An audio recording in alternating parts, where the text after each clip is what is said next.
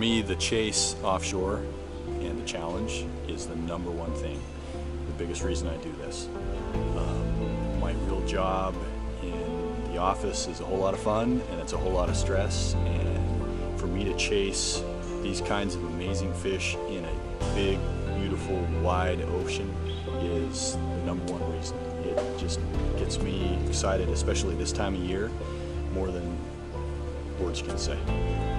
I really love tuna fishing because it's like unlike any other experience that I usually have inshore when I'm salmon or steelhead fishing. When I'm salmon or steelhead fishing, it's like I can go out and like escape and relax, but when I'm tuna fishing, I can get out there with my friends. It's like this big teamwork kind of environment. You're out on the open ocean. It's like you just leave home and you're you're on this like vacation and you're reeling in these incredible hard fighting fish. It is just unlike anything else that I've experienced inland.